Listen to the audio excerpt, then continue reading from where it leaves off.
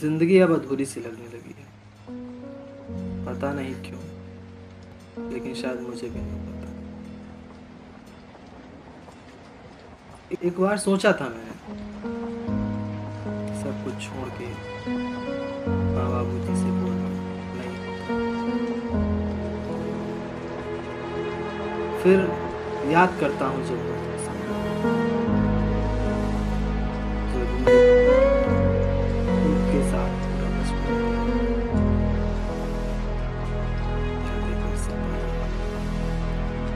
न जाने कहाँ से ताकत आती है मुझे मुझे नहीं लेकिन नई लौसी मेरे मन में